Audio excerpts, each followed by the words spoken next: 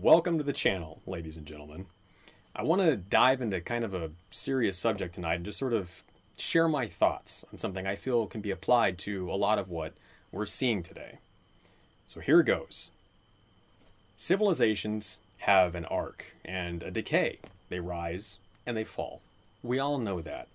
But thanks to our woefully inept education system, most people don't have a concrete historical perspective to give today's events necessary context. And tragically, even if we do have the context, humans don't ever seem to learn anything. We learn from history that we do not learn from history. Or we do learn, some of us do anyway, but the ones that do are laughed at and derided, ridiculed as conspiracy theorists and nut jobs, all for pointing out things that are painfully obvious to anyone with half a brain. And that's a problem, though, too, because most of these gullible, naive little lemmings running around repeating what they hear on corporate news really do only have half a brain. But the people at the top, they're actually quite clever. They know what they're doing. None of this is an accident. Everything that's been happening for the past year, we're being steered intentionally down this course. And it's not necessary by any means. And even though the ones doing the steering are doing it on purpose, they're doing it for all the wrong, selfish reasons, with no thought to where we go from here.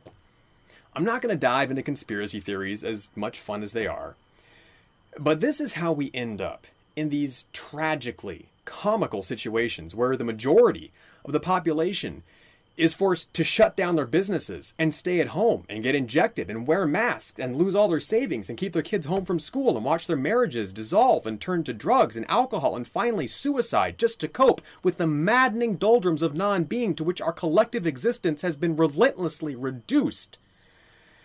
All while our overlords, like the Obamas, can throw lavish parties for their friends without a care in the world. Everything is flipped upside down. And the craziest part, the craziest part of all, the part that I just cannot wrap my head around, is that not only are we willingly going along with all of this, but there are actually people, millions of them, justifying and rationalizing all of this, defending the Obamas and the Gavin Newsoms, the rich, powerful millionaire politicians, and attacking the mom and pops for trying to put food on their table. And not only defending these tyrants, but begging for more. Our culture has gone full blown Stockholm Syndrome almost overnight. But I digress. The point of this is that civilizations have an arc. Anyone paying any attention at all has seen all of this before, and not just in 1984 the most dreadful governments in the history of the world Nazi Germany, Soviet Russia, Communist China, the Khmer Rouge, North Korea. They're all examples where an authoritarian government runs away with power, totally unchecked, and ends up as a tyrannical regime, murdering their own people. Pol Pot was an absolute madman, and his persecution of the Cambodians killed around 2 million people, nearly a quarter of the country's population. Hitler's government ended up killing over 10 million German people. Joseph Stalin had his own internal genocide, and between forced labor, mass starvations, executions, and banishments to Siberia, he killed between 60 and 70 million Russian people. To say nothing of the Holodomor and the famines in Ukraine.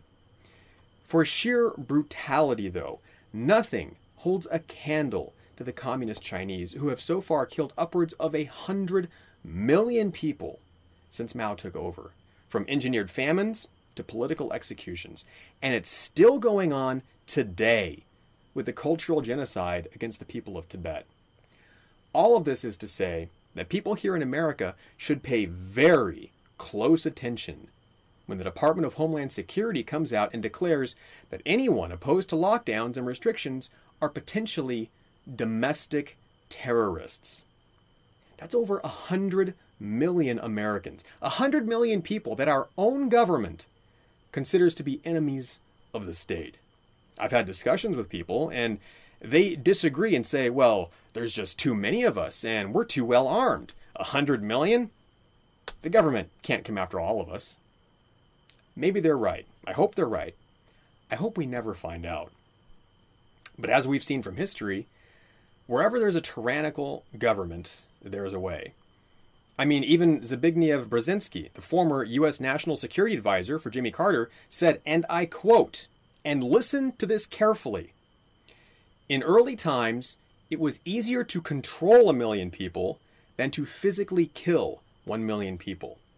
Today, it is infinitely easier to kill a million people than to control a million people.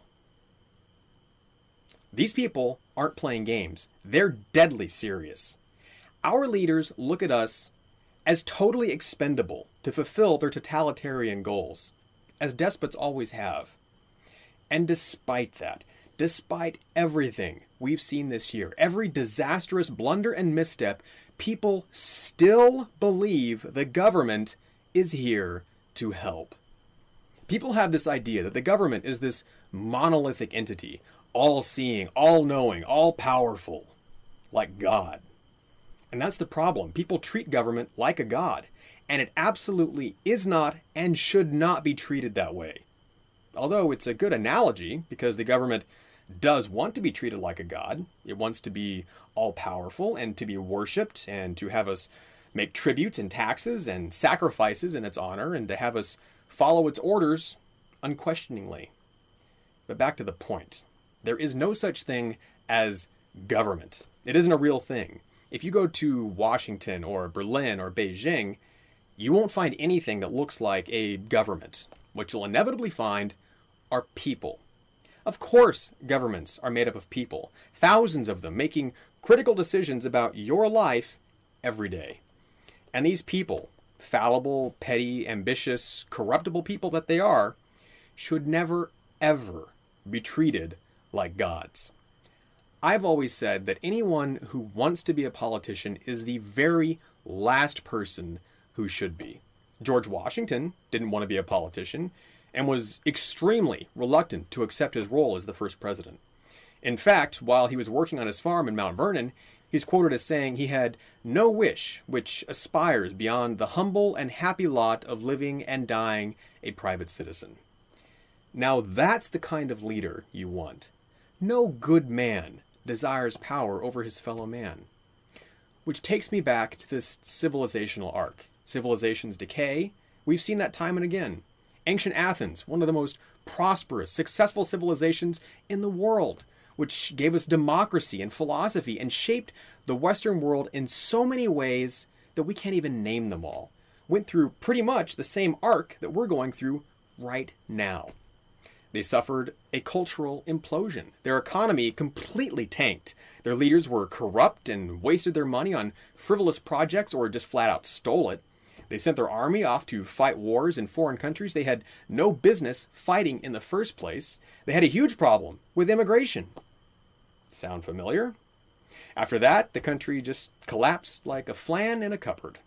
Same thing roughly happened to Rome petty squabbling between the corrupt leaders, a decadent society, an impossibly divided government, bread and circuses, and the barbarians waltzed right through the gates.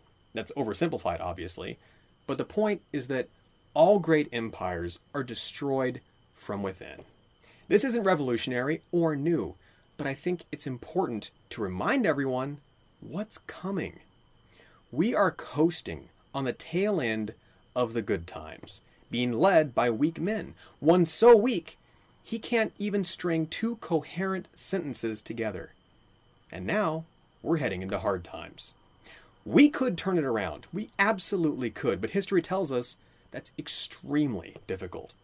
Thomas Jefferson said, I predict future happiness for Americans if they can prevent the government from wasting the labors of the people under the pretense of taking care of them. And isn't that where we're at today? Isn't that the principle behind the lockdowns and all the mandates we're seeing? Americans want the government to take care of them. We'll happily give up all our freedoms so long as the government takes care of us.